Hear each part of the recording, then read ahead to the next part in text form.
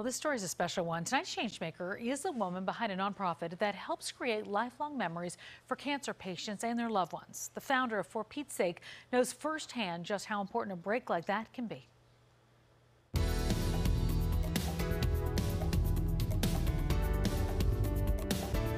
The mission of For Pete's Sake is a simple one give families fighting cancer a break from dealing with the disease. What we do is we really remove them, you know, from the environment that they're in. You know, usually they're home and they're confined to their home because of the illness. Um, and we put them in a very, very comfortable destination. Marci Schankweiler is the CEO of For Pete's Sake. She founded the organization after her late husband, Pete Bossow, was diagnosed with cancer in 1998, and their family and friends sent them on a respite vacation in the middle of his treatment. Why was a respite so important to you and Pete?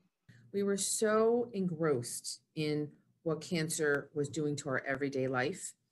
And we had this chance just to step away. We really wanted to give that same opportunity to other families who were going to walk, you know, our journey. Pete passed away in 1999. Marci made it her mission to fulfill his wish that other cancer patients and their families have a chance to take a break from the disease like they did. She made a pivot from being a tax attorney to launch a nonprofit bearing his name we send families away on respite, and unfortunately, some of the people we help don't survive. And for those families that are able to kind of carry on um, in the journey of their own lives, they always have that respite to hold on to. The pandemic has been shifting to more staycations this year and only sending families to the nearby Woodloch resorts.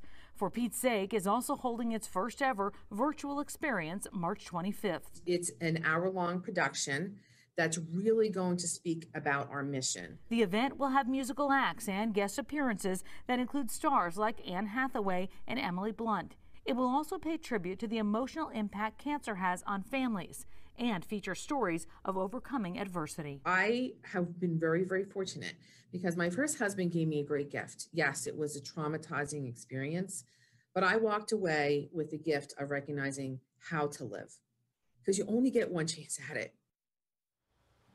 Well, For Pete's Sake has served more than 9,000 patients and their families since it began just over 20 years ago. In the meantime, if you want to learn more about For Pete's Sake and their upcoming virtual experience, head over to the website. It's listed right there on your screen. And if you want to tell me about a local change maker, hit me up on social media at Tamsen Fadal. Would always love to hear from you. I got to tell you, that one that one touched me. You know, I lost yeah. my mother to, to breast cancer, but to hear uh, what her husband gave to her, which was to teach her how to live, yeah. that, that means everything, that's, that's right? Pretty, yeah, it's pretty special, and it's pretty cool what they're trying to do. Yeah.